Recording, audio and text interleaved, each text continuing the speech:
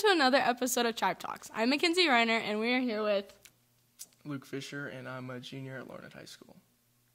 How are you today? I'm doing pretty good. Good. How about you? I'm I'm good. okay, what all are you involved in in high school? Right now, I'm in track, but I'm also in wrestling, football. I'm in FFA. Um, I'm in Stuco, and also I'm a class president. Awesome. What are you looking forward to most in your senior year?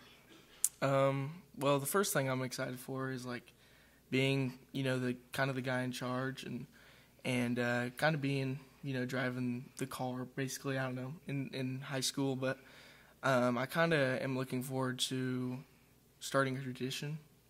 Like like I said, being in charge, you are able to do things, and and I just don't want to have this spot and do nothing with it. Like I I want to be the role model, and along with my friends and my other seniors, like I want to start something new.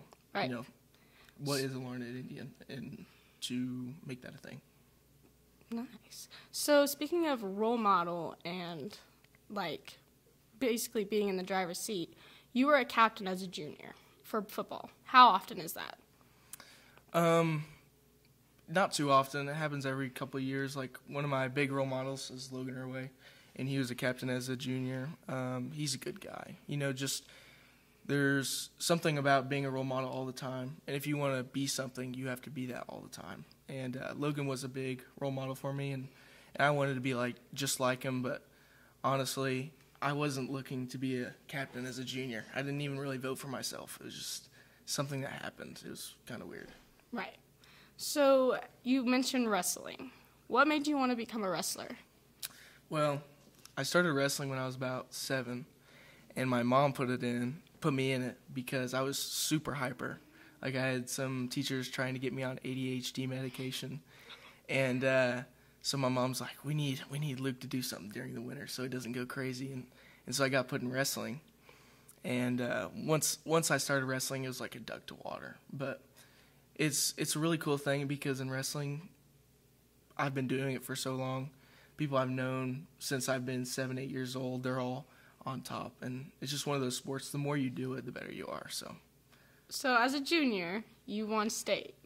How did that make you feel? you know, um, I never had one state before, even before high school. And it was a really cool experience. I didn't really expect it. Like, I was the underdog, you know.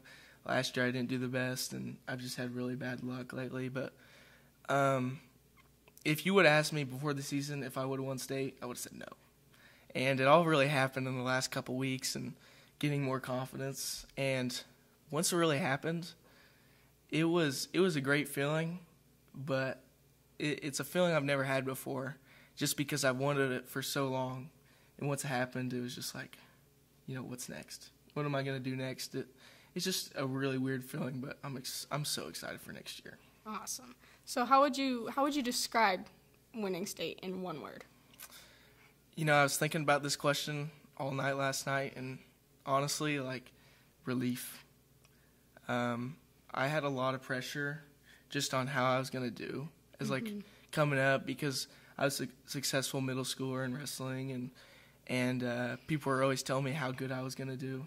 And once I got to high school, I had a lot of injuries, and so um, I was always just so nervous because I wanted to do what the expectations thought I was gonna do.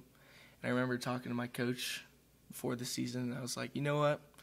I don't care what everyone else thinks. I'm just gonna forget about it, and I'm gonna go out and wrestle. But that helped me so much, and in winning state, it's just like I've finally done it, you know. So I don't have to worry about it, but I have to worry about getting another one now. So I'm really excited for that. Awesome. So, taking a break from sports, what is one thing you would like to change or add to our school? Well, something I brought up earlier, um, I really think it would be good to start a tradition. I'm not saying we already do, but to make the tradition even something more so. You know, um, when these freshmen come in, you know, just like I was, I'm ready to adapt and to change to how everyone else acts.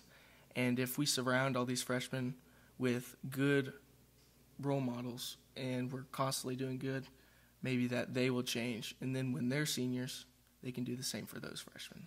I think that'd help a lot. Awesome. Is there anything else you would like to add? Well, I appreciate you guys for um, letting me do this interview. It's it's an honor. It's pretty cool.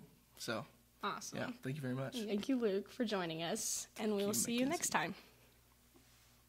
This concludes episode two of Tribe Talk. Stay tuned for next week's episode with Sarah Manry and Ella McNett.